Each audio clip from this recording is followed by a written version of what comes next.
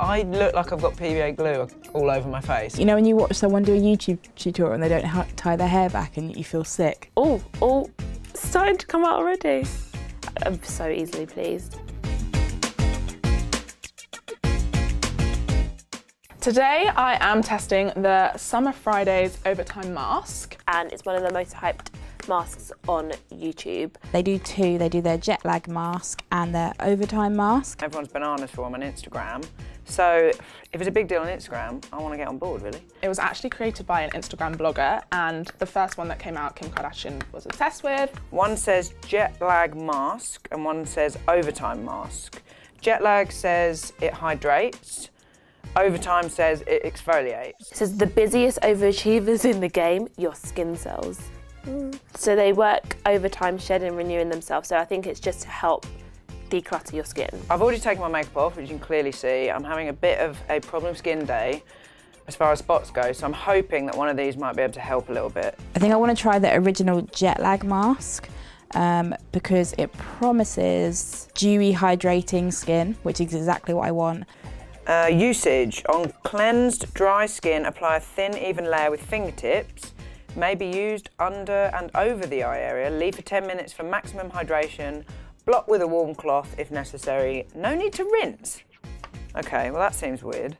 On cleansed dry skin, apply a thick layer using fingertips to massage in circular motions for 60 seconds. 60, you will rub it in for a minute. That's long. Uh, leave on for 10 minutes and wash off with warm water, pat skin dry. Packaging, very Instagrammable, obviously. Very cute.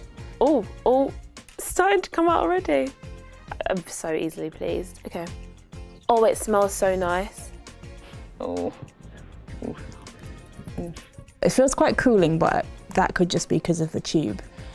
It just feels like a thick moisturiser. How are you meant to massage your whole face for a minute? I don't really understand that. Feels a little bit gritty, but really cooling. Ugh, Ugh. It's starting to tingle around my nose, which makes sense because that's the most congested part of my face. It's quite messy. As you can see, I'm now covered and I smell like a pumpkin. So I'm going to leave this on for 10 minutes. And when you see me again, I'll be looking gorgeous. Anyone got anything to do? No? Okay. Okay, so it's been 10 minutes. It says you don't have to remove it, but if I was going to bed, I might rub it in, but I'm gonna put my makeup on after this. I look like I've got PVA glue all over my face, so I'm going to rinse it off. Sometimes when you use um, exfoliating masks or acids or whatever, your skin starts to feel a bit like irritated, but this hasn't done that. I'm actually using the face halo, which will be, will be being featured in another video. So watch this space. This is like, you know when you watch someone do a YouTube tutorial and they don't tie their hair back and you feel sick? I'm sorry. My immediate feeling as soon as I washed it off was that I need to put moisturiser on. And I just put just some moisturiser on and it feels, my skin feels lovely now. I'm a little bit disappointed.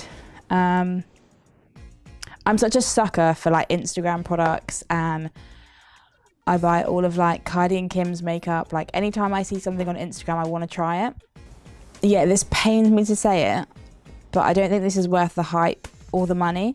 It's £42. It's £39 though, and that is quite a lot for a face mask. It is a bit of a reduction from the last mask, which was in the 40s, which personally I think is a little steep. But saying that, you get quite a lot of product. It is, um, it is quite large, and I reckon this would last you quite a while. I mean, it's hard to tell straight away what my feelings are on it, but I feel hydrated, which is what it said it would do. But um, yeah, I like it. I feel nice. And if everyone on Instagram's into it, then I think I'm into it too. Definitely would not use this twice a week. Um, that's crazy, unless you have like skin that replenishes itself like a snake or something. You don't need to use something this harsh like more than once a week. Feels like it would last quite long, and you get the satisfaction of like rolling this bit over as it goes down, which I would pay like at least thirty pounds for in itself. So Proof that Instagram does lie. I think this is definitely a product that's been overhyped. I don't think it's a terrible product. I just think there's better, cheaper products out there. Definitely made my skin look more even tone and glowy, I'd say. I really like it. I think I think I give that nine out of ten stars. Really good. Yeah.